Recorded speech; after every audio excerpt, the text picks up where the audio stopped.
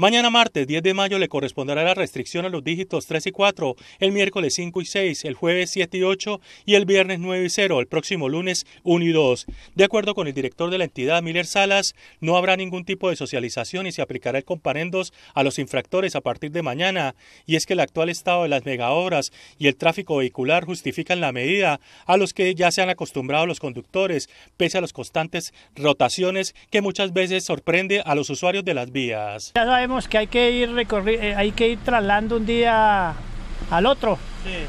Y ya uno pues ya sabe que el martes eh, ya tenemos cambio de pico y placa. Te cuento que no tengo ni idea cómo están las cosas. No. no. Esto que hacen lo que les da la gana con el pueblo. Casualmente eso se ha venido haciendo, ¿no? Y considero pues que, que si es por el bien de la movilidad, muy bien.